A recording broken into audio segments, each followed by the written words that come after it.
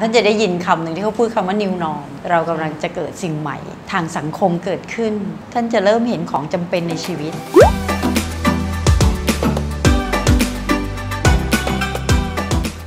พฤติกรรมของชาวโลกที่จะเปลี่ยนแปลงไปนับจากนี้นะคะ หลังจากที่คุณโควิด -19 จบลง มันจะเกิดพฤติกรรมอะไรบ้าง อันนี้เป็นเรื่องน่าสนใจท่านติดตามท่านจะได้ยินคำหนึ่งที่เขาพูดคำว่า new norm ใช่เรากำลังจะเกิดสิ่งใหม่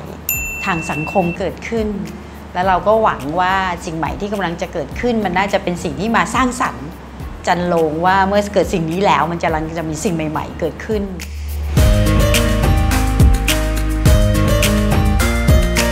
อันนี้พูดในมุมแบบหมอๆก่อนนะคะหนึ่งพวกหมอทุกคนก็จะดีใจดีใจว่า หลังจากวันนี้จะไม่พูดล้างมืออีกแล้วนะทุกคนจะจำได้ใช่ไหมมันจะต้องล้างมือ รู้ใช่ไหมว่าไอจามต้องระมัดระวัง มันจะทำให้เกิดการแพร่ระบาดของโรค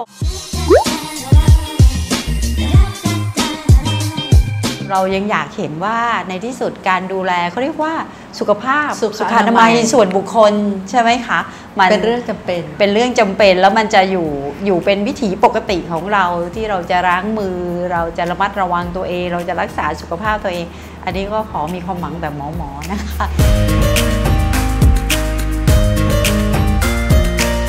อันที่สองในที่สุดมันจะออกแบบชีวิตกันใหม่ว่า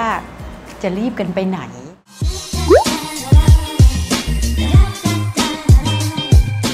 ทำผ่านมาทำเยอะไปไหมนะคะ มันแค่พอดีพอดีเนี่ยมันก็น่าจะอยู่ได้นะคะ แล้วเราก็จะเริ่มรู้สึกว่า เออ มันไม่แน่นอนอย่างนี้เอาแค่พอดีพอไหม บางทีมันอาจจะออกแบบการทำงาน หลายบริษัทตัวนี้เริ่มคิดได้ว่า ไม่เห็นต้องมาเข้ามาอยู่จุ้มปุ๊กกันเลย ทุกคนก็ทำงาน เราก็สามารถลดการใช้รถยนต์ลงไปได้ตั้งเยอะ มันทำได้จริง ๆ ที่จะใช้ชีวิตในแบบที่มันพอดีพอดี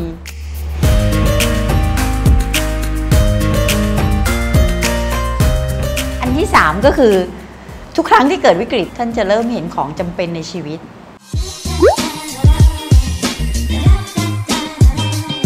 ว่าอะไรที่เราต้องการว่าอะไรที่เราอยากที่เราอยาก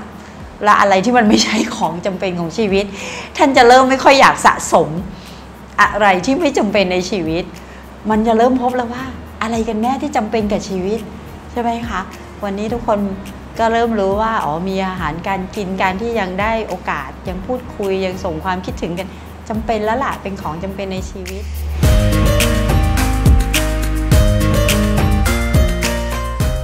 อันที่สี่นี่ก็คิดว่ามันจะเกิดสิ่งที่เราเรียกว่าเหมือนเป็นมารยาทใหม่ทางสังคม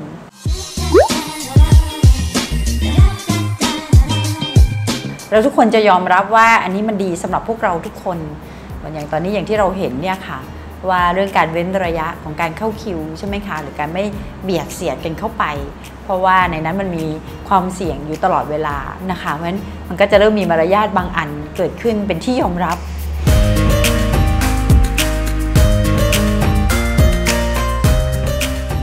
ส่วนอันสุดท้ายเนี่ยนะคะ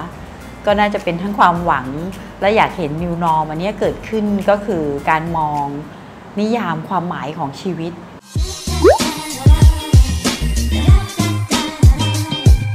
ว่าทุกครั้งที่เกิดวิกฤตเนื่องจากรอบนี้เนี่ยคิดว่าเป็นวิกฤตที่เกิดขึ้นแบบทั่วโลก ซึ่งไม่ได้เกิดมานาน น่าจะเป็นร้อยปีแล้วนะคะ ที่เกิดสถานการณ์ขนาดใหญ่แบบนี้ที่ผู้คนหันมาเห็นความหมายของของการมีชีวิต และก็การใช้ชีวิตของตัวเราเอง ก็รอบนี้อาจจะกลุ่มที่ที่อาจจะมีชีวิตแบบเรียบสงบสบายก็อาจจะเริ่มยิ้มดีใจว่าเห็นไหมเราควรจะมีชีวิตที่มันมีความหมาย กับตัวเราเองกับคนรอบข้างกับคนที่อยู่กับเราเนี่ยมากขึ้นนะคะ มากกว่าที่จะมองออกไปไกลจากตัวเราเอง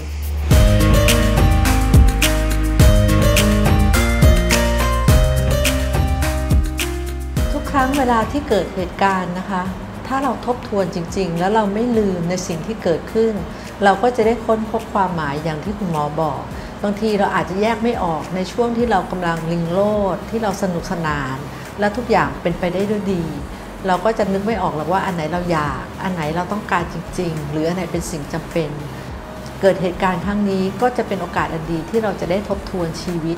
การอยู่อย่างมีความหมายค่ะ